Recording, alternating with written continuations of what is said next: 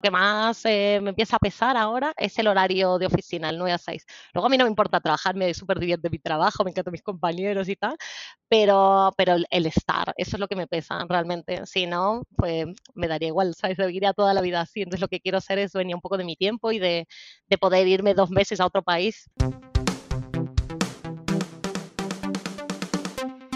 Bienvenidos al podcast de Valio, un lugar donde hacemos nudismo financiero, que consiste en desnudar un poco los números de los invitados con el fin de aprender de su experiencia gestionando su dinero. Yo soy Sergi Benet y hoy estamos con Laura Venegas, inversora inmobiliaria y home stager al mando de Málaga Home Staging, empresa dedicada al marketing inmobiliario. También se incorpora a Valio como profesora con un curso en el que nos enseñará cómo sacarle más partido a las inversiones inmobiliarias tanto si quieres vender como si quieres poner a alquilar tu vivienda. Un gusto tenerte como profesora, Laura, y bienvenida al podcast. Muchas gracias, Sergio. Un placer estar aquí después de escuchar tanto tiempo el podcast. Me alegra, me alegra por fin estar aquí contigo. Mucha ilusión que, ya lo escucharas y, bueno, muy mal por mi parte de que no supieras que, el podcast era de Valio. Quiere decir que la comunicación no, no está muy bien hecha, pero, pero bueno, me alegro de que, de que ya, ya fueras oyente. Pues sí, pues sí, la verdad es que creo que no le habría prestado atención o algo así, porque eso que, que, uno pone el podcast por la mañana, ¿no? Cuando sale a pasear. Y bueno, entre mi lista, pues estaba el de nudismo financiero, porque bueno, yo creo que me lo debe haber sugerido Spotify o algo así, no, no sé cómo lo encontraré, vamos. Qué guay, pues mira, del podcast a profesora y ahora a, invitada a hacer nudismo. Encantada. Vale, pues antes de nada lo que hacemos son unas preguntas rápidas, breves, para ponernos en contexto. ¿Qué edad tienes, Laura? 40 años. ¿Vale? ¿De dónde eres? Soy argentina de la Patagonia y bueno, llevo en España 14 años ya, o sea que mitad y mitad vamos a decir. ¿Estudios tienes? Soy farmacéutica eh, y luego hace tres años me formé como homestager cuando hice ese, ese cambio de vida. Em, y bueno, eso básicamente. Luego hago muchas cosas, son muy curiosas, así que estoy siempre formándome en algo. Vale. ¿Pareja en la actualidad? Sí, estoy casada hace 12 años ya. Muy bien. ¿Y cómo lleváis las finanzas? ¿Cómo os organizáis a nivel de números?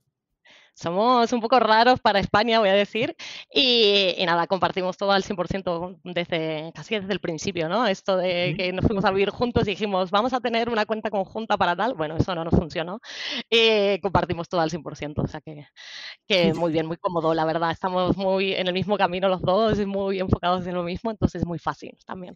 Vale, o sea, hay una única cuenta o hay varias, pero que son de los dos. Hay, hay muchas cuentas, exacto, hay, muchas, muchas cuentas, pero bueno, eh, son todas conjuntas, ¿no? Compartidas y, y todos tenemos acceso a la misma información, digamos, y a, y a disponer del dinero ambos. Muy bien. ¿Hijos tenéis? No tenemos, no. ¿Y ahora dónde estáis viviendo? Estoy viviendo en Málaga hace cuatro años, en el sur de España, muy contenta aquí. ¿Y estáis de alquiler o en propiedad? Vivimos de alquiler, tenemos nuestras propiedades, pero vivimos de alquiler. Es común, ¿no? Eh, inversión inmobiliaria y, vivir de alquiler. Pues sí, la verdad que nosotros queríamos empezar nuestras inversiones comprando un sitio que nos permitiera vivir donde queríamos vivir, pues no pagar el precio que cuesta vivir donde vivimos. Así que, bueno, eso fue lo que conseguimos. Vale, ¿y cuánto estáis pagando de alquiler? 950. Vale. Eh, bueno, me voy a matizar porque Málaga es una ciudad mucho más barata que Madrid o Barcelona. Eh, y entonces 950 para Málaga es un poco caro, pero bueno, es porque nosotros somos dos, pero tenemos una casa de tres dormitorios porque trabajamos en casa. Eh, entonces, bueno, nos podemos, o sea, necesitamos siempre mucho, mucho espacio y siempre estamos en, en casas muy amplias y nada, vivimos en un barrio muy bonito, veo el mar desde mi ventana, o sea que muy bien. Pero no son los precios normales de Málaga, vamos a decir que están un poquito más baratos. Muy bien. ¿Y la vivienda que comprasteis, eh, ¿cómo, ¿cómo, es? O sea, has comentado, comprasteis una vivienda para poder pagar la vivienda donde queríais vivir. ¿Y cómo fueron un poco los números así a grandes rasgos? Pues mira, yo estaba obsesionada por comprar una casa partida en dos o un pequeño edificio o una cosa así. Y bueno, conseguí eso, una casa que ya estaba, ya habían hecho una segregación y entonces al precio de una, que eran 240.000 euros, me compré dos viviendas, entonces ahora tengo dos inquilinos, doble ingreso, una sola hipoteca y, bueno, eso es lo que nos permite un poco con el cash flow de esa casa pagar o cubrir ese alquiler, aunque no utilizamos el dinero para cubrir el alquiler, simbólicamente es eso. Vale. ¿Y qué costó, o sea, la hipoteca cómo fue o fue, cómo la comprasteis? Pues compramos con hipoteca apalancadísimos al 100%, o sea, de hecho yo no quería poner ni, un duro, eh, casi que no quería poner ni los gastos, eh, porque acabamos de venir de un viaje muy largo de dos años, entonces también nuestros ahorros están, es verdad que rápidamente pudimos, pudimos juntar, pero no quería, no quería tocar esos ahorros, entonces bueno, pues conseguí, mi, mi madre tenía aquí una propiedad pagada al 100%, entonces la pusimos de garantía y luego mi padre me dejó para los gastos, me hizo ahí como un préstamo, donación o lo que sea. Y, la verdad que lo que nosotros teníamos en ese momento, que serían unos 10.000, 12.000 euros, eh, pues lo usamos para reformar. Así, que, así que ahí fue muy intentar quedar a cero, pero, pero no queríamos, la verdad es que no queríamos poner dinero, queríamos que fuera realmente algo que se pagara solo. Vale, ¿y cuota qué salía? La cuota estamos ahora en 700 y pico de euros. Tenemos, la verdad que, a ver, vamos a ver este año con el Euribor, a ver cómo va en septiembre, pero... Porque es variable. Es variable, así, eso sí es. Vale. A, ver, qué, nos toca. ¿Y, de cash flow cómo, cómo está? ¿Cuántos pagan los inquilinos? Claro, a ver, nos ingresan 1.600 euros, entonces menos los 700 de gasto y luego yo siempre quito un 10%, entonces calculo que, que, me, que me llevo, digamos, que ese dinero igual no se toca, va a un, tenemos como la cuenta de inversión donde ese dinero solo va a la cuenta de inversión y nos quedan unos 700 euros. Tenemos porque tenemos también un, un, préstamo pequeñito por otra reforma que hicimos luego más tarde en la casa, que son nada, 60 euros al mes. Pero bueno, entonces yo sé que limpios, o sea, cuando me entra, a mí me entra lo de mis inquilinos, uno paga la hipoteca y el otro, el otro inquilino eh, se paga ese, ese crédito y guardo ese dinero directamente en una cuenta. ¿Y el interés de cuánto es? ¿Es variable? ¿Pero cuál, sería? Em, mira, ahora estamos al 0,53, pero era como Euribor más 0,75, no sé. Em, una cosa así, ¿no? Con toda, obviamente, poniendo la nómina ahí, etcétera, etcétera. Hoy creo que seguro de vida, bueno, con todas estas, em, bueno, cositas que nos piden, no me sale ahora la palabra. Así que bueno, más o menos estamos ahí, pero lo revisé esta mañana y era un 0,53 lo que estamos pagando ahora. Muy bien, muy bien, buen interés. Sí. Vale, pues Laura, ¿cómo te defines a ti misma? ¿Quién, quién es Laura? Ah, bueno, Laura es una persona muy curiosa, sobre todo, ¿no? Soy muy inquieta, me gusta hacer muchas cosas, em, soy una persona que le dice sí a prácticamente todo, sobre todo cuando estoy, cuando estoy empezando en algo como, como es esto de, ¿no? de, del homestaging, tratar de, de, de, crecer todo el tiempo, ¿no? Me, me aburro mucho, entonces tengo que estar constantemente cambiando de, de profesión, de lugar de vivir, que he vivido como en, pues no sé, ocho o nueve ciudades y, siempre me estoy mudando, entonces soy muy, muy inquieta, me gusta estar haciendo cosas y tengo la mente siempre muy activa. Y mm, esto del homestaging, ¿de dónde sale realmente el concepto? Porque como concepto homestaging tampoco lleva muchos años, al menos en España, que, que, yo sepa, y mm, supongo que ya se hacía, pero no sé si tenía este nombre específico. y, de dónde sale este nombre? Pues, pues, te voy a decir que no se hacía, no se hacía mucho en España. De hecho, cualquiera que haya intentado comprar una casa habrá ido a ver eh, lo que hay en el mercado y se habrá asustado un poquito. Esto viene obviamente de Estados Unidos, donde es la meca del marketing, y nació en los años 70. O sea, imagínate que estamos en el 2022 y todavía nos cuesta muchísimo que la gente entienda que para vender mejor una casa, pues es necesario que esté adecuada, ¿no? que esté preparada y que no sea, bueno, el que venga ya cambiará como quiera. Em, de la misma manera que hacemos con la el coche, porque yo creo que a nadie se le ocurre ir a vender un coche que lo vas a vender por 6.000, 7.000 euros, o aunque sea por 20.000, y, y lo llevas así nomás, ¿no? Todo el mundo lo va a limpiar, le repara todas las rayones que tiene, y sin embargo, cuando vas a vender una casa que te puede haber costado 10 veces más que el coche, pues no hacen nada, ¿no? Pintar, ¿para qué voy a pintar si ya va a venir otro? Eso es tirar el dinero. Eh, entonces, bueno, son conceptos que cuesta mucho eh, incluir en la cultura y nos pasa también en Latinoamérica, porque soy argentina y en, y en Buenos Aires pasa exactamente lo mismo, ¿no? que la gente todavía le cuesta eh, invertir dinero para sacar dinero de algo, como que no lo ven, no lo ven algo tan lógico. Y me parece que es un error, ¿no? Y los que somos, sobre todo la gente que tiene la capacidad de invertir o estar viendo cómo ganar más, pues lo tenemos que tener aún más claro, que no solo se trata de hacer una reforma bonita, sino que luego tienes que tener cierta mm, idea de cómo vas a hacer el marketing de venta, que no, el, tu marketing de venta no puede hacerle alguna reforma y ahí está, ¿no? Le paso un trapo al suelo para limpiar la tierra y ya está, que, hay mucho más y hay que planteárselo muchísimo mejor. Muy bien. De media, más o menos, ¿cuánto habéis visto que podéis llegar a mejorar un, alquiler, o sea, o una venta, las dos opciones, que al final sirve para las dos? ¿Cuánto habéis visto que podéis llegar a mejorar? Pues mira, eh, esto te voy a decir estadísticas oficiales, no, no te voy a decir las Vale. mías porque siempre está, claro, al final esto está bastante cejado. Y en estadísticas oficiales se sube el precio de un 5 a un 25% Vale. y en el 80% de los casos de venta, o sea que es muchísimo. eh, el- voy a decir, es muchísimo el dinero que la gente se deja en la mesa por no preparar bien una vivienda. Vamos a matizar también que hay muchísima gente que le tiene tanto apego a su casa, tanto cariño, eh, que también es cierto que, que tienen expectativas irreales, sobre todo ahora que estamos también otra vez viendo una especie de mercado alcista, em, se ve mucho, ¿no? Que la gente cree que, que va a dar el gran pelotazo por su casa o que en, eh, que en dos años, sin hacerle nada, pues la casa se va a revalorizar 100.000 euros. Y eso no es así. Entonces el mercado será alcista, pero, pero no a esos niveles. Entonces, bueno, también es interesante trabajar con esos clientes. Yo creo que esto le falta un poquito al mundo inmobiliario de educación, más educación sobre realmente cuánto vale tu vivienda. Y no es mi vecino del quinto, la, lo vendió por tal, como mi casa es más bonita, pues le voy a sacar un 10% más. No, no es así. No va así, no va así. Ni siquiera, eh, incluso ni siquiera cuando uno hace ta- tasaciones, ¿no? Con testigos, ni siquiera la altura del piso, ¿no? El del tercero tiene que ser más barato que el del quinto, pues eso tampoco es así. Entonces, bueno, me parece que falta un poquito más de educación por parte de agentes inmobiliarios. No, no que, que yo ahí sí que no, no me voy a meter en valoraciones de precios, pero, mm, pero falta eso, falta educar a la gente de decir, bueno, pues no podemos salir al mercado con precios irreales porque eso no sirve de nada, ¿no? Y no hay home staging que valga y, y no hay tour virtual y no hay nada que valga cuando una casa está fuera de mercado. Vale, pues ya que tocas tema educación, eh, acabamos de lanzar un curso juntos. Si, si puedes comentar un poco por encima los temas principales que, que se tocan en el curso, eh, para quien esté interesado. Pues claro que sí. El curso es de home staging y marketing inmobiliario, pero sí que he querido cuando lo preparé dar un vistazo general, ¿no? Para que alguien que solo hiciera ese curso y no hiciera ningún otro curso sobre inversiones inmobiliarias, pues tuviera eh, algún conocimiento de qué significa em, recuperar la inversión que hacemos cuando hacemos un home staging. Entonces hablamos un poquito de qué es este concepto. Cuando, cuando nace también contamos un poquito la historia de, de Bárbara Schwartz, eh, qué beneficios tiene fundamentalmente eh, hacer un home staging, cuál es el retorno de la inversión y luego tenemos unos bloques donde directamente les cuento cómo hacer un home staging eh, para distintos tipos de, vivienda, ¿no? Una vivienda vacacional, una vivienda de alquiler a largo plazo y una vivienda para venta, porque son tres conceptos diferentes donde las casas se preparan de una manera obviamente diferente. Y la típica pregunta que, que- que nos la suelen hacer es, ¿para quién es este curso y para quién no es? O sea, ¿para quién no encaja?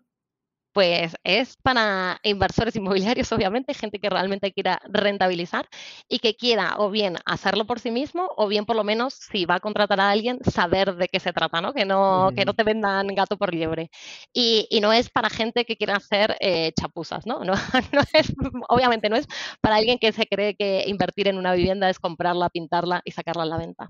Eh, al final hablamos, bueno, que no te lo he dicho, pero hablamos mucho de lo que es el marketing inmobiliario y las patas que tiene una venta inmobiliaria, que son, que son muy importantes y que no hay que descuidar ninguna. Pues pasamos ya a desnudar un poco los números de Laura. Muy bien. Em, si te parece, contarnos un poco tu, tu historia laboral y cómo se ha ido mm, vinculando al dinero, cuál ha sido tu evolución y, y qué has ido cobrando en cada etapa, en cada fase, aprendizajes sobre dinero, em, como tú quieras, a tu, a tu manera. Pues muy bien. A ver, yo empiezo trabajando en la universidad, lo cual por la gente que pasa por el podcast es bastante tarde, pero es cierto que mi padre no quería, bajo ningún punto de vista, que, que nos sintiéramos con la presión de ganar dinero, ¿no? En casa mm, el tema del dinero, bueno, nunca fue un tema que se hablara demasiado, ni había o no había, eh, un poco igual, ¿no? Eh, y fuimos un poco así, así que me recuerdo haber tenido hasta que no pelear, pero ponerme firme de voy a empezar a trabajar. Y ya cuando estaba en la universidad empecé con unas pasantías que, bueno, no te puedo decir cuánto ganaba porque eso era en pesos, ya hace como 20 años, o sea que eso hoy ya sería irrelevante, no sé ni cuánto serían, como unos 50 euros me alcanzaba para tomarme el autobús, ir a la universidad y, y volver. Y, y nada, enseguida me, me salió otra beca de la universidad para hacer investigación básica, pues ganaba casi lo mismo, con la diferencia que por lo menos estaba en el mismo edificio estudiando. Y, y realmente hasta que no me recibí no descubrí qué era lo que quería hacer y ahí empecé a trabajar, eh, bueno, ya soy farmacéutica, lo he dicho, y empecé a trabajar en una pequeña clínica de ensayos clínicos y, y ahí ya empecé a ver, empecé realmente a ganar dinero, ahí ya ganaba como unos mil euros al mes más o menos. Eh, me gustaba mucho, yo me gusta viajar, te lo he comentado también ahí fuera de grabación, y entonces me ahorraba todo, me ahorraba todo, todo el dinero para viajar eh, desde la universidad de Samar. Pues tendría 23, 23, 24 años, no sé. Vale. O sea, primer sueldo bien, o sea, mil euros, bueno, 23 sí. años, vale. Así es, y encima eh, pues me llaman de la universidad donde yo había estado haciendo pues las becas y tal, y ya era, bueno, hay un puesto de, en, sobre todo en universidades que tenemos mucho laboratorio, es ayudante de laboratorio. Y me dicen, mira, hay un cupo para, para poner en una, vamos, en, en, una materia que era química y, y, no tenemos a nadie, nadie lo quiere, pues quiere ser profesora. Y bueno, se llamaba JTP creo, ¿no? jefe de trabajos prácticos o no sé qué. Uh -huh. y, y digo, bueno, pero solo puedo de noche porque trabajo de 8 a 4 o sea que podría dar clases en el turno noche, que es de 6 a 10 de la noche. Mm. Eh, y, y, ya está, digo, podría salir de mi trabajo que queda aquí a la vuelta y entrar aquí a trabajar, así que trabajaba desde 8 de la mañana hasta 10 de la noche y ahí duplicaba, ¿no? Porque me pagaban otro sueldo igual que, bien, bien. igual que este y me lo ahorraba todo, o sea, no, no tenía gastos, nunca, fue, nunca he sido muy gastadora, la verdad. Y, y entonces, pues nada, ahí guardaba, guardaba, pues lo, lo mismo, trabajé un año, junté dinero, renuncié, me vine a viajar a Europa, eh, buscando un poco un lugar donde vivir eh, por aquí. Y cuando se me acabó el dinero, volví así directamente. Volví, volví a Argentina, pues trabajé lo mismo, seis meses más. Ahí, ahí otra vez, bueno, creo que ganaría lo mismo porque mm, me contrató un laboratorio para una amiga que se iba, esto que se va seis meses a hacer no sé qué, tal. Bueno, pues nada, me quedé con su puesto, ganaría lo mismo más o menos y trabajé seis meses. Cuando volvió dije, bueno, pues ya tengo dinero, me voy a vivir a España. Y vine y me lo gasté, ¿eh? no te creas que... O sea, tú ahorrabas mucho, ahorrabas mucho, pero acumulabas durante tu época de trabajo y luego te lo gastabas todo viajando. En viajes, pero así, vale. a lo bestia, ¿sabes? A lo bestia de, nada, pues llegué aquí, pues no sé, supongamos que tenía 4.000 euros, es que no, no recuerdo. Pues nada, me fui a viajar y cuando sabí que en la cuenta quedaban 1.000, pues volví y dije, venga, voy a buscar trabajo. Eh, nada, eh, un poco pero, mi vida sí, es así, ¿eh? Pero literal te quedabas sin y decías, voy a buscar sí, ahora o, o, o anticipabas un poquito. No, literal. A ver, anticipaba lo que me daba para viajar, ¿no? Decía, bueno, pues nada, voy a ir acá, tal, pues tengo unos amigos aquí, ta, ta, ta. Bueno, volveré y echaré currículums, porque luego te cago, te da miedo, pero lo cierto es que aquí en Madrid vivían unos amigos míos y yo vivía con ellos, entonces, pues tenía como mi, mi red de ahí no me cobraban nada, la verdad que, que, muy majos. Nada, en dos días conseguí trabajo, ¿eh? No te creas que me costó mucho. Es un, tema, es un tema cultural argentino, porque conozco varios argentinos que es como que, que no, no tienen miedo de, de quedarse en paro, sin, sin dinero, dinero, y tal. O sea, viajan hasta gastarlo y, y, luego da igual, ya encontraré. Es, no sé si es algo cultural o, o, que, te, o que, que, no tenéis miedo a este tema. No, a ver, está, está, claro, a ver, la inflación argentina este año es del 50%, o sea, tu dinero no vale nada, ¿no? Y, y, es así, tu dinero no vale nada. Entonces, la filosofía de muchas, bueno, de hecho, ahora te voy a contar lo que me sorprendió cuando vine a vivir a España, ¿no? Pero la filosofía es, gasta el dinero ahora porque, porque no puedes hacer nada. Entonces, eso te marca, eso te marca mucho. Yo no sabía lo que era ahorrar, o sea, ¿sabes? No, no, no, tenía ni ningún concepto de qué, de qué era el dinero ni cuánto. De hecho, yo cuando llegué aquí tampoco sabía ni que iba a las entrevistas de trabajo y me decían, ¿cuánto quieres ganar? Y yo, no lo sé. Y claro, la gente que tienes alrededor por ahí tenía salarios que no eran bajos para la época, pero que no estaban adecuados a, a la farma, ¿no? Que, que, al final la farma eh, paga bien. Entonces, bueno, pues lo mismo. Entonces me preguntaban, ¿cuánto quieres ganar? Pues 25 y a la siguiente me echan, mm. sí, perfecto, te tomamos. Y entonces iba a la siguiente entrevista, porque en dos días tuve como 7, 8 entrevistas. Iba a la entrevista, pues 28. y iba vale. pidiendo, ¿sabes? iba diciendo, a ver, claro, cuando me decían sí tan rápido, estoy pidiendo poco. iba, iba, un poco así, era, era muy raro. Además era muy joven, o sea, pues, tendría 26 o 27 años y tenía mucha experiencia. Entonces eso también me, me juega un poco a favor. Eh, al principio, cuando ahorrabas, ahorrabas en pesos? No, en o... dólares, nadie ahorra en pesos. Y eso vale. que en esa época era mucho más estable, pero nadie, nadie, no. Yo eh, cobraba, eh, dejaba ahí, no sé, es que no sé cuál ni qué decirte, 200 pesos y el resto compraba dólares. Y, todo el mundo lo hace así, ¿no? Porque si no, o sea, es perder dinero. Es imposible, es que no te vale nada. Mira, he estado ahora en Argentina, hacía cuatro años que no iba. Pues hacía cuatro años salía con mil pesos en, el bolso y se me iban, ¿no? Lo gastabas en el día de, ah, compra, salidas, tal. Bueno, este año eh, tenía 10 mil pesos y se me iban. O sea, es una brutalidad. es una brutalidad. Y bueno, habremos subido un poquito nosotros el nivel de gasto, pero no era para tanto. O sea, era una cosa como, digo, esto, cada vez que voy estoy perdida. No sabes si te están cobrando caro o barato porque no, no, no hay parámetro. Toca, ¿eh? Para los que estamos acostumbrados a, décadas de un 2% o lo que sea, eh, choca mucho escuchar esto y, bueno, que, que, ahí se vive así y, se, y es lo que dices, que al final pues tienes que buscar otras formas y se ahorra en dólares o en otras, otras monedas o se invierte, supongo, pero qué bestia. Inversiones pocas, ¿eh? la gente no tiene casi cultura de inversión. Sí, siempre que estamos ahí, bueno, ¿qué hago? ¿Qué invierto? Pues a todo el mundo le digo, pues invierte fuera para empezar. no, no es nada, pero, pero no, hay, no hay cultura, porque es lo mismo que te digo, que no hay cultura del ahorro y a mí eso me chocó un montón cuando llegué a España, que todos mis amigos, eh, toda la gente que conocía, pues hablaba, ahorraba muchísimo de su sueldo y yo, sin embargo, pues quiero vivir aquí, pues lo que cueste, ¿no? quiero no sé qué. Y, y no soy muy gastadora, pero sí que me gusta vivir en casas donde esté cómoda, donde esté contenta para que sean bonitas.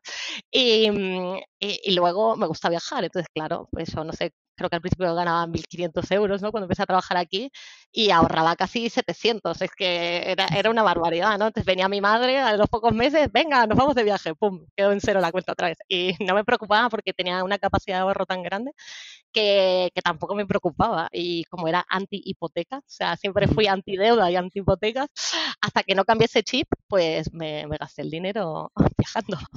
¿Qué te hizo cambiar el chip, Laura? Pues en el último viaje estuve, estuve, dando vueltas por el mundo dos años con mi marido y ahí empecé a leer, eh, cuando estaba en Bali, como estás tú ahora, pues empecé a leer mucho de finanzas personales, eh, pues no sé, me dio ese chip eh, de, empezar a, adentrarme en un poco, quería, no quería volver a la farmacia, quería tener que crear mi propia empresa, pero no sabía qué hacer, estaba como muy perdida y bueno, empezó, empezó a leer, leer, leer y digo, bueno, pues hay que perderle el miedo a la deuda, eh, a la deuda buena y, y, tenerle mucho respeto a la mala. Es verdad que yo nunca tengo deudas de tarjeta de crédito ni de, ni de nada de eso, creo que ni lo considero como dinero mío, ¿sabes? Dinero que, que entra, se pagan los gastos diarios y, y no existe la tarjeta de crédito, pero sí que dije, bueno, pues hipotecas no está tan mal.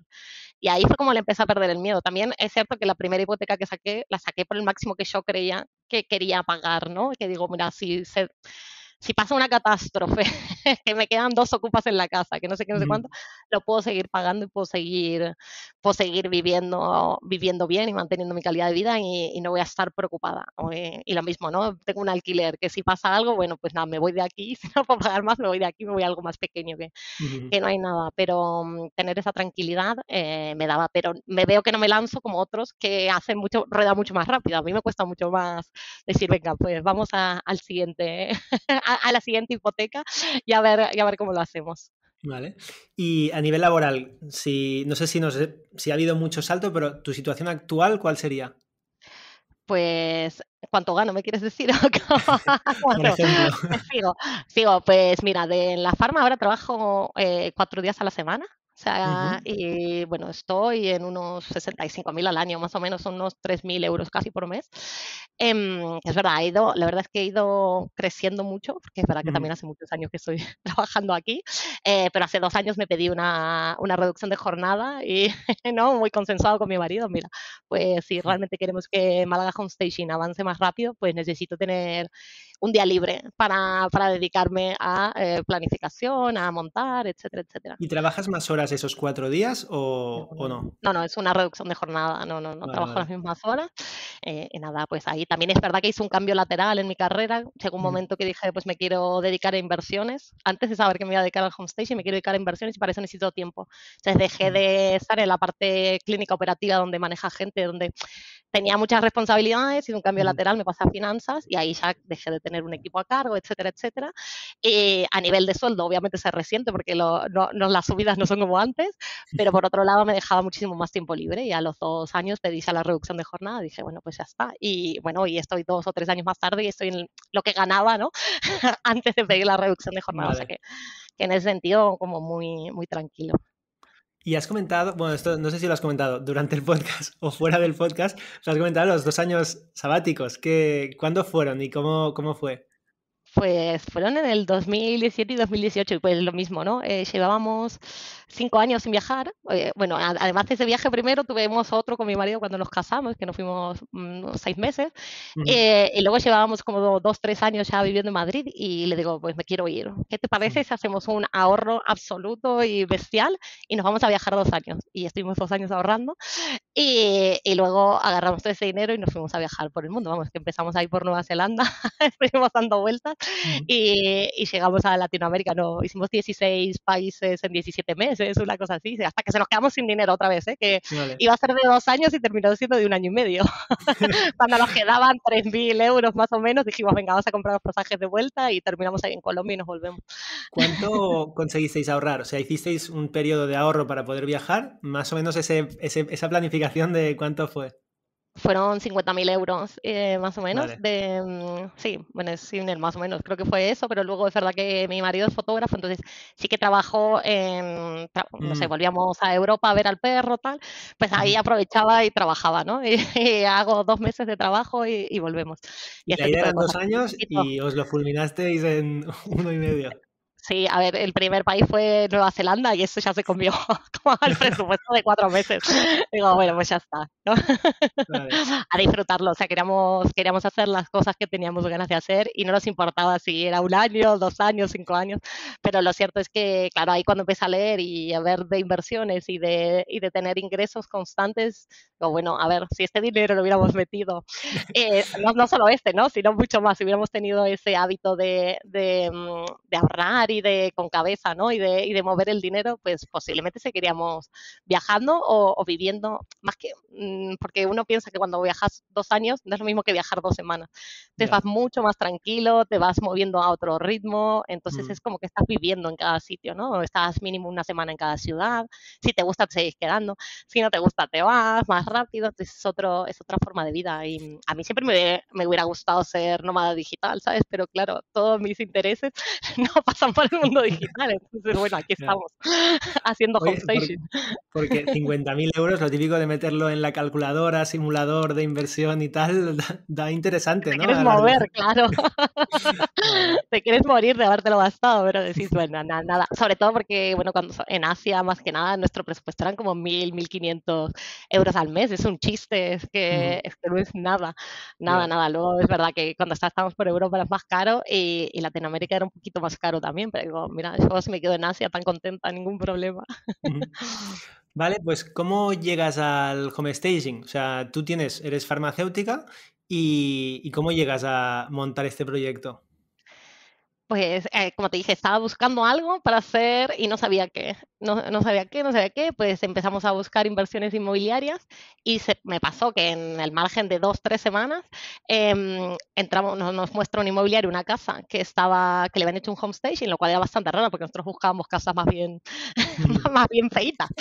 Eh, y, y entonces ahí le pregunto, le digo, ¿pero esto qué han hecho? Le digo, esto es como los programas americanos, ¿no? Aquí tal. Y bueno, me, me lo cuenta, me dice que sí, que tienen una home staging en plantilla tal y cual. Vale, estupendo, pues me quedo con eso. Eh, saliendo, ¿no? Le comento ah, es que esto me encanta, me encanta a mí, lo haría, me veo todos los programas de reforma, o sea, me veo haciéndolo, ¿sabes?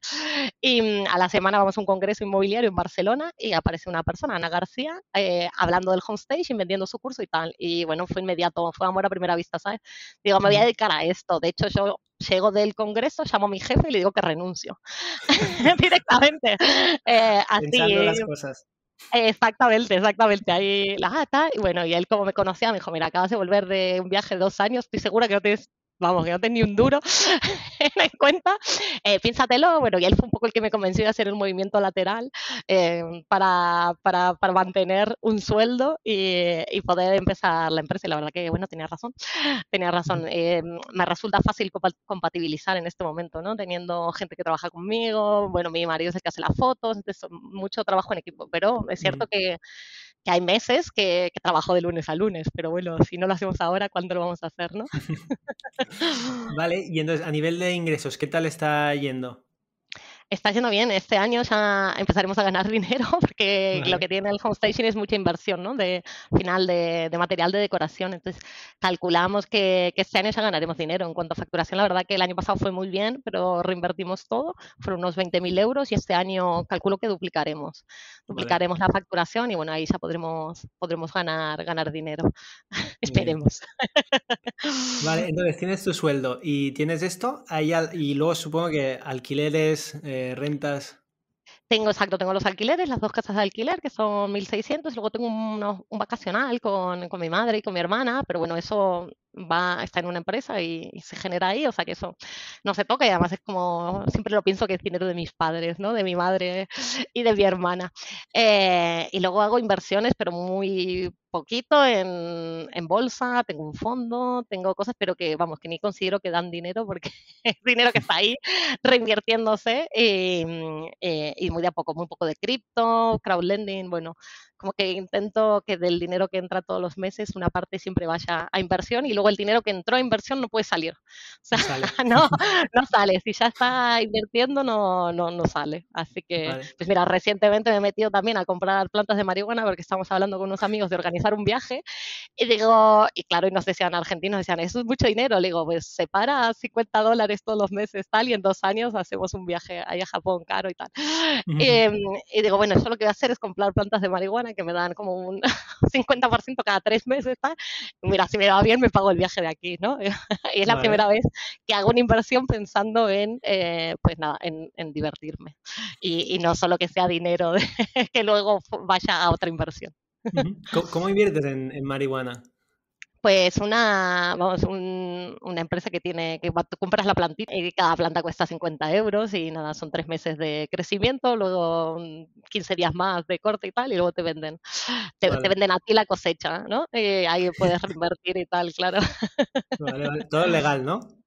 Todo legal, ¿eh? es marihuana medicinal para países que está aprobado y tal. Es una empresa española, de hecho, creo, o que tiene vale. una filial española, o sea que sí, sí, sí, todo legal. Además, cuando empiezo con estas cosas, empiezo siempre con muy poquito. Digo, a ver cómo va, eh, lo dejo un año para ver qué tal va y mm. tal. Bueno, igual luego te la clavan, ¿eh? que tengo criptos donde el primer año fueron estupendamente y luego, y luego ha sido lo mismo que todo.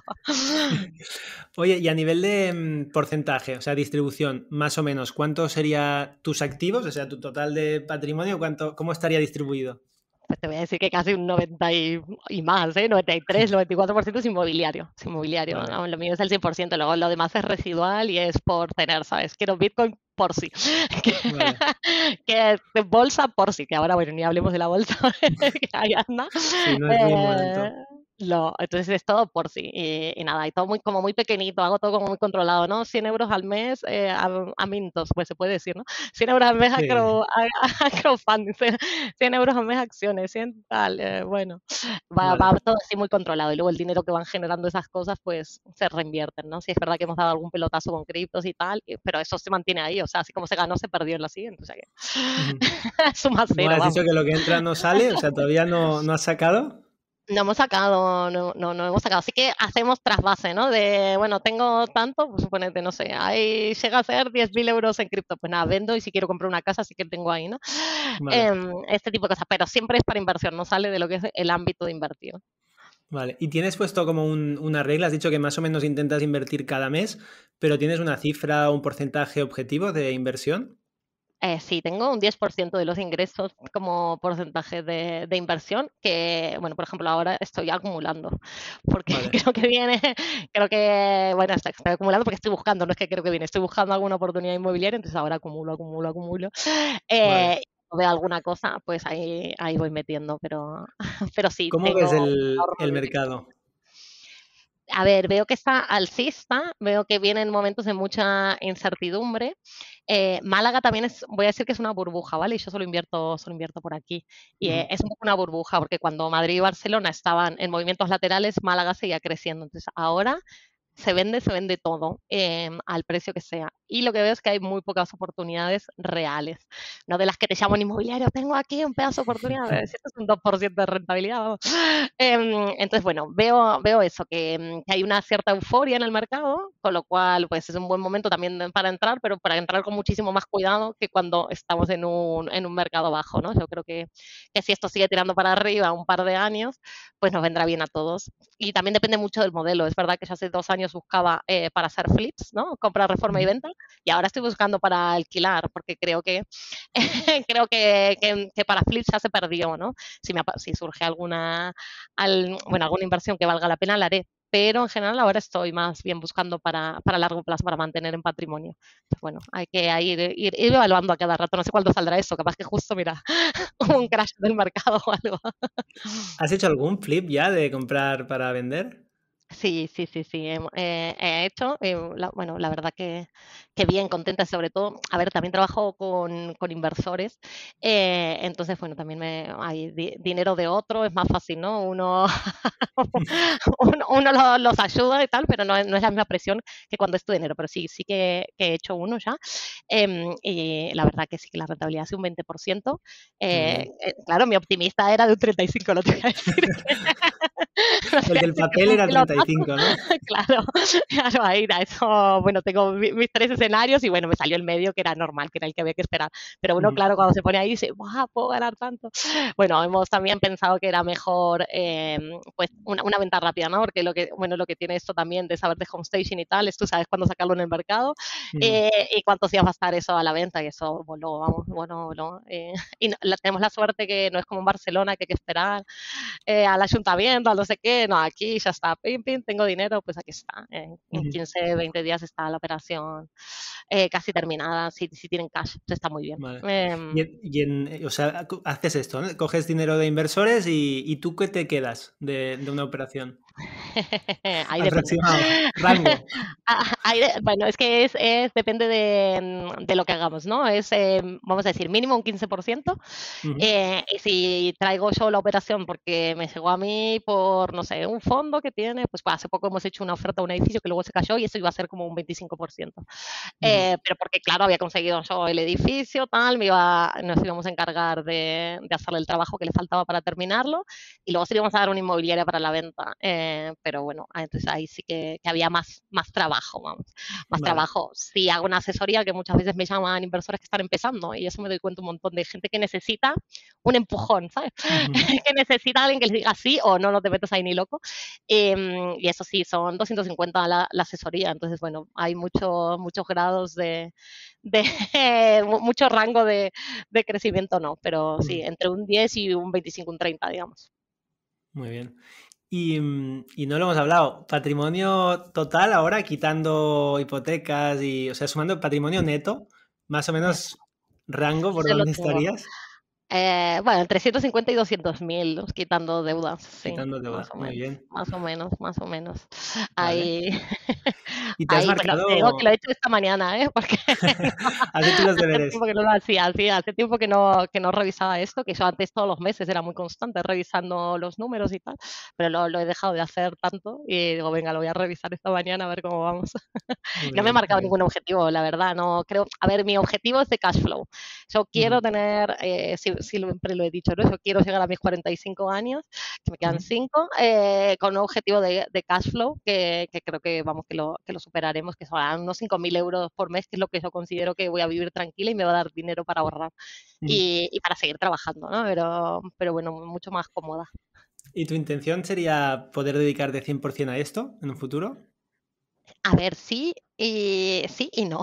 Decir, me quiero dedicar 100% a mi, al cuidado de mi patrimonio, al crecimiento de mi patrimonio, pero como te he dicho, soy muy inquieta. Tengo, me gustan muchas cosas, entonces lo que quiero es ser dueña de mi tiempo. ¿no? De lo, que más eh, me empieza a pesar ahora es el horario de oficina, el 9 a 6. Luego a mí no me importa, no me importa trabajar, me súper divierte mi trabajo, me encantan mis compañeros y tal, pero, pero el, estar, eso es lo que me pesa realmente. Si no, pues me daría igual, ¿sabes? Seguiría toda la vida así. Entonces lo que quiero hacer es dueña un poco de mi tiempo y de, de poder irme dos meses a otro país y, y, poder vivir. Y eso, claro, nada, siendo homestaging, pues es muy difícil porque tienes que estar aquí. Entonces, bueno, buscar la manera de, de invertir para poder apalancarme y ver también cómo cambia el mercado, porque creo que el homestaging tiene mucho margen de crecimiento, pero también creo que va a llegar un momento donde va a pasar a ser una tecnología obsoleta, ¿no? Donde ya estemos tan metidos en el metaverso y tal que, que, no nos creamos nada. Entonces, bueno, creo que también va a tener un, una vida útil, eh, pues no sé, 10, 15, 20 años y, bueno, habrá que pivotar y habrá que evolucionar con el mercado y ver qué es lo que se viene y, y a dónde estamos, pero creo que la, las bases seguirán siendo las mismas, ¿no? Porque al final lo, lo importante es el, el contenido y no cómo lo hacemos. Hombre, realmente, al menos en España, recorrido le queda aún, porque no se ve mucho. O sea, sí que cada vez la gente lo hace un poco mejor, quizá incluso de manera natural, pero el hecho de, un poco mirar lo que es eh, el retorno de cada euro que inviertes en dejar algo mejor, eh, lo veo bastante reciente, o sea, no, es, no, no, se hace muchísimo. Y aún hay la mentalidad de, no, no, yo ya no, esto lo quiero vender o lo quiero alquilar, ya no meto más dinero. ¿Sabes? Exactamente, exactamente, exactamente. Sí. Creo que no, no, hay esa conciencia del retorno y luego no hay esa conciencia de darle a la gente lo que necesita. Y eso mm. a mí siempre es lo que más me preocupa, ¿no? Yo digo, eh, mientras mejores viviendas estemos dándole a, a la gente que, que, vive en la ciudad, pues mejor calidad de vida, más empezaremos todos a exigir, ¿no? Y, y, me pasa a mí, yo vivo en una casa donde te dije que, que pago bastante más de la media eh, en Málaga y sin embargo la cocina no está reformada. Y dices, pero de verdad, de verdad no y cada vez que hablamos con la dueña, no, no, eso sí está nuevísimo, que va a estar nuevo, si eso de los 70, ¿qué me está contando? eh, y, y, es así, porque no hay eso de cuidar a tu mejor pagador, o sea, a mí mis inquilinos son mis mejores pagadores, sí, sí. a mí na, na, no, no, me entran 1.600 euros de ningún otro lado por no hacer prácticamente nada, entonces cuando mm. me llaman porque tienen un problema con no sé qué tal, pues le mando el seguro inmediatamente o, o resuelvo eso, entonces sí que quiero que vivan cómodos, que estén, que estén bien eh, y que podamos tener esa relación donde te doy algo de calidad y por lo que tú, tú me pagas. Y, cuando todos nos acostumbremos a, a, poder pedirlo en cualquier rango de precio, ¿eh? porque claro, al final, pues si, si nos vamos al lujo podemos exigir y no es así, creo que todos deberíamos vivir una vivienda digna y basta de dejar los muebles de la abuela para los alquileres y basta de sacar a la venta cosas que, que parece que hubo un asesinato, ¿no? Es que es muy difícil. Oye, Laura, si, si, te cayera, seguro que ya las has escuchado alguna vez, pero si te cayera un millón de euros limpio, eh, totalmente limpio para hacer lo que quieras, ¿qué harías con este dinero hoy? Adivina, ¿qué es lo primero que haría? Voy de viaje, ¿no? Un viaje, que madre mía. Eh, a ver, no, creo que ahora que, que, tenemos ya más, mucho más incorporado el tema de la inversión, pues, uh -huh. pues eso, buscaría ahí inversiones, algún edificio interesante, ¿no? Un millón tampoco es que dé, que dé para un montón, pero sí que buscaría algo que me diera ese cash flow que me permitiera viajar, entonces invertiría unos 800 mil euros. Luego con 100 mil, ¿sabes? Compraría Bitcoin y tal, alguna alternativa por dar el pelotazo y eso. Y, eh, y luego los otros 100 mil, pues nada, no me esperéis. ¿Sabes? Lo tendré ahí de cash. De, a Bali, a otra vez. De... Claro. Muy bien. Y, y si sacamos el dinero de la ecuación, o sea, si tuvieras ya todo cubierto, tuvieras más de esos 5.000 de cash flow mensuales y muchísimo patrimonio, ¿qué harías en tu día a día si no tuvieras ningún objetivo de, de dinero, digamos? Bueno, a ver, para mí igual el dinero no, nunca es el objetivo, ¿no? Eso es como que te decía, a mí si hay cero euros en mi cuenta me da igual, ¿no? Nunca vas a ser el objetivo eh, generar el dinero. Entonces, pues nada, creo que haría eso, me, me, la pasaría buscando inversiones, viendo qué hacer, haría los cursos que quisiera. Eh, no, es que soy muy, soy muy inquieta, me movería, me movería mucho. A ver, sí que creo que que eso, el, el, hecho de no trabajar o de tener ese cash flow me va a permitir liberar tiempo, que es lo que quiero, entonces me dedicaría a, ahí, tendría mañanas más tranquilas y en vez de trabajar de lunes a lunes como ahora, pues nada, tendría mis semanas libres también y, y con, mucho, con mucho más tranquilidad, pero, pero seguiría en lo mismo, seguiría este mundo. A mí es que pensar estar tirada en una playa todo el tiempo, eh, aunque parezca que uno en un viaje de dos años hace eso, pues, pues no es cierto, ¿no? Estás todo el tiempo eh, enfrentándote a nuevas experiencias, pues necesitaría exactamente lo mismo en mi día a día. Eh, estar por aquí haciendo cosas nuevas, conociendo gente nueva, moviéndome por otros lados. Em, bueno, tomaría más cafés con amigos y tal, pero, pero luego sería bastante, bastante parecido. Vale. ¿Y em, recuerdas alguna, o sea, recuerdas la última vez que cambiaste de opinión sobre algo? O sea, un, no sé si un cambio radical, pero algo que decías, ostras, esto siempre es así, eh, ya no pienso así la última vez, no sé. A ver, de los más grandes y con respecto al dinero fue el de la hipoteca, el de la, el de la deuda, que yo jamás en la vida compraré una casa. y si la compro será en Argentina porque es mi país. Pues mira, nada que ver. Eh, y eso ha sido eso ha sido un cambio, un cambio radical, pero vamos, que cambió bastante de opinión porque al estar constantemente leyendo, o sea, yo leo 50 libros al año, 52 este año, y, y al estar ahí cambias todo el tiempo de opinión, piensas que no, lo mismo que, que del mercado del tipo mm, de, inversiones. Antes pensaba que iba, que iba a ser muchas inversiones más bien en acciones y tal, que eso era lo mejor. Y ahora digo, no, pues el inmobiliario a tope. Yo le tenía, vamos, le tenía como una alergia a tener una casa, Para mí era tirar el dinero a la basura. Sí, es, común también. ¿Qué estás leyendo ahora? Ahora estoy leyendo un libro que se llama em, palabras que cambian pensamientos. Es, está, lo estoy diciendo en inglés, Words That Change Minds. Y la verdad que me está dejando muy, muy alucinada. Es la segunda vez que lo leo porque lo terminé de leer hace, hace dos meses y dije, le tengo que dar otra, otra vuelta a ese libro porque me, ha quedado mucho ahí en el tintero y, está muy, muy bien. ¿De quién es? Uy, me matas. Luego te lo busco. Era pregunta de examen casi. Sí, sí, son ideas. Muy bien, muy bien. Vale, ¿y una persona a quien estés muy agradecida? una persona, pues. Tengo muchísimas personas, ¿no? no te voy a decir mi familia porque eso lo dice todo el mundo, ¿vale? Eh, partiendo partiendo de, de ahí, de, de, mi familia y mi pareja, pues a nivel, a nivel laboral he tenido grandes mentores, ¿no? Eh, jefes y, y, gente que me ha acompañado en mi carrera. Ana Sánchez es una de ellas, que, que, fue una project manager con la que trabajé, íbamos de la mano. Pero también otros jefes al que llamé diciéndole, me voy de aquí, ¿no? eh, a muchos jefes que me, ha, que me han ayudado mucho al desarrollo personal, ¿no? No quiere decir que, que mm, hayan hecho la vida más fácil, pero sí que han visto que podía mejorar en ciertas cosas y me han, me han planteado, ¿no? Esto de, de, por aquí, de por acá, y, y, me han ayudado muchísimo. Luego a mis compañeras Homestager, que somos un grupo que, que al final es una profesión que ahora está creciendo muchísimo, pero cuando empecé yo hace unos tres años, pues éramos muy pocas y nos dábamos muchísimo soporte y hoy seguimos con esa red de ayuda y de contactos y de, y de realmente no juzgarnos y, ayudarnos unas a las otras. Entonces espero que eso se mantenga durante muchísimos años más y con las siguientes generaciones de Homestation que vengan, porque, porque es, muy, es muy bueno. Eh, luego también estoy en un grupo de networking que este año me toca presidir el grupo. También estoy muy agradecida a la persona ¿no? que, me, que me eligió para ser presidente de este, de este año, pues a Valio por permitirme hacer un curso, pues estoy muy, muy agradecida por muchas cosas, ¿no? Creo que estoy en el momento de mi vida en el que puedo decir sí a todo, a todo lo que sea nuevo, y ya llegará el momento en el que diga no y seleccionaré, seleccionaré muchas cosas. Bueno, nosotros también muy contentos, ¿eh? que la verdad es que queda un, un curso chulísimo y bueno, como se puede ya escuchar por, por la, toda la conversación, trabajar con Laura es un gusto, eh, todo el día está riendo y todo, el día es, buen rollo y optimismo.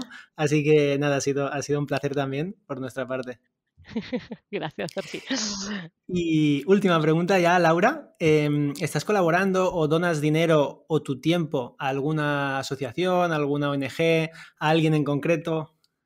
Eh, pues sí, la verdad que, a varias ONGs tenemos un presupuesto, así como tengo el de inversión, tengo un presupuesto asignado también para, para donación. Em, bueno, a Málaga Acoge, que es un claramente de acogida aquí, aquí en Málaga, es de la provincia de Málaga, ACNUR, Médicos Sin Frontera, Cruz Roja pues varias tenemos eso, ya mm, el típico que nos sacan por mes un dinero y, luego siempre nos llaman a fin de año cuando se acerca la paga de Navidad para pedirnos donaciones extras. Entonces sí, sí que colaboramos. Luego durante mucho tiempo fui casada de acogida de perritos, que, también, que también me gusta, ahora ya, ya lo podemos, pero, pero sí, intentamos que eso, sobre todo colaborar con, con asociaciones que nos, que nos gusten, ¿no? que, que sí que estemos muy alineados con eso. Entonces, bueno, claramente eh, tenemos una tenemos algo muy, muy perdido, ¿no? Cruz Roja, Médicos Sin Frontera, está, está todo muy alineado con nosotros. ¿Y hay un presupuesto fijo o va cambiando? No, hay un presupuesto fijo que, que, lo hacemos al año, que empezó siendo un 10%. Luego, pues con la pandemia lo tuvimos que bajar a un 5% de los ingresos mensuales y bueno, ahí iban siendo. Y luego el resto, pues hacemos esas colaboraciones de a fin de año. Es lo típico que te llaman, ¿no? ¿Eh? Puedes hacer una colaboración especial de 400 euros y tú, 400 euros, venga, a ver cuánto podemos. y va, vamos yo siempre caigo, espero que no, que no me llamen mucho. Pero bueno. Pues eh, es así, el otro día me llamó otra y digo, es que ya, le digo, no me queda más presupuesto, ya lo tengo todo asignado de este año. Y me dice, no, porque es que es más fácil que done la gente que ya done que el que no done. digo, sí, sí, razón. 100%, Muy bien, Laura, pues nada, ya estaríamos. ¿Dónde te podemos encontrar? Me podéis encontrar en muchos sitios, en Instagram como málaga-hs, en mi página web málagahs.com, en LinkedIn como Laura Venegas HS, eh, luego tengo podcast como tú, en Valio me podéis encontrar también.